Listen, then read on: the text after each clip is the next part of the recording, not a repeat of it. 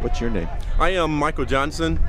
I am a member of the Montford Point Marine Association and the Western Regional Vice President of the association on the West Coast. What is the association? Association is a veterans organization predominantly established in 1965 to recognize the first African Americans to go through Marine Corps boot camp, which was separate at Montford Point in Camp Lejeune, Jacksonville, North Carolina. It was segregated. Yes, it was. And they had a segregated boot camp from 1942 to 1949. But were the troops segregated or integrated?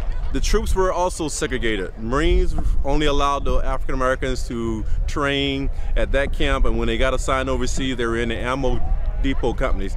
They were not allowed to serve in integrated units at that time. And when did that change? That changed in 1950 when President executed order and integrated the military that all branches of service were allowed to be integrated.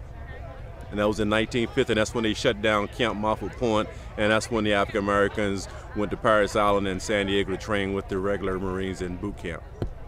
What's this award that's coming around? Our Congressional Gold Medal is going to be awarded to the surviving members of those men who went through Montford Point from 42 to 49 is in recognition for their hardship and their steadfast devotion to duty under critical situations to including segregation and at the same time going through World War II as well.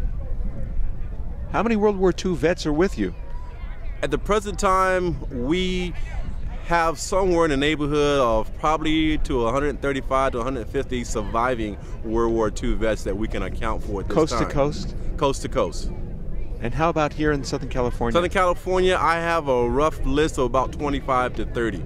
And again, that list is growing as we get more publicity about the Congressional Gold Medal being awarded. A lot of family members and former Marines left their service after two or three years and went home and continued their lives and then realized the impact that they had bestowed upon the country at that point in time.